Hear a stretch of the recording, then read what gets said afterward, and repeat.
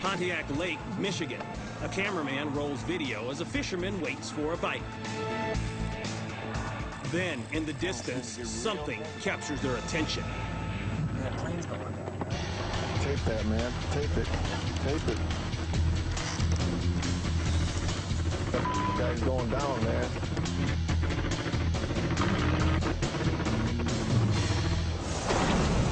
Oh. Did you get that? Yes. Airplane descends rapidly toward the lake. While its engine sputters, the pilot of the four-person aircraft struggles to maintain altitude. 50 yards from the shore,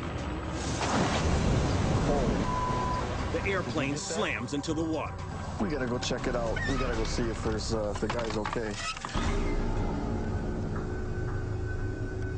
Fortunately, the plane rests in just four feet of water.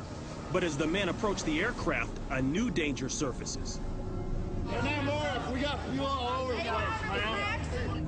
Is that guy knocked out? I don't know, but he's not looking too right. Hey, dude, you got a life jacket? Yeah. Need a life jacket? Despite the danger, bystanders wade into the water to rescue the three injured men.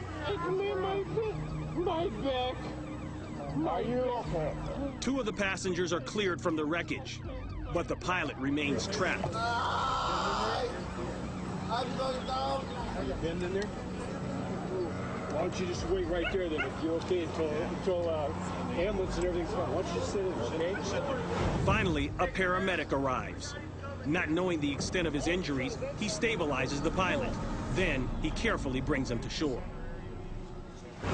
It turns out that a clogged valve caused a blockage of fuel to the engine, ultimately leading to the crash.